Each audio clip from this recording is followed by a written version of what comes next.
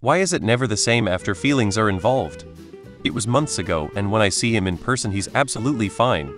The messages are just very cold and short, and it's disappointing. He used to be the one initiating lots of chat, and now he's just being polite, it seems.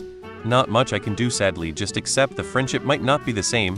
It's a shame he feels like this for something that was months ago.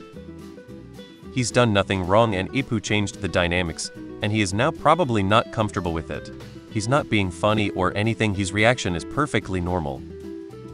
Here's the thing guys will become friends with a girl due to initial attraction. It's true guys, don't deny me if a girl isn't interested then the guy will understand and stick tight just being friends. You've only been rejected twice girl, don't put yourself so down. If you're crushing on one of your guy friends again just tease him d a little flirting keep it light and fun see how he responds if he's responsive there's your answer. If not so much no worries girl you can meet any guy that's not take you out for a drink or something.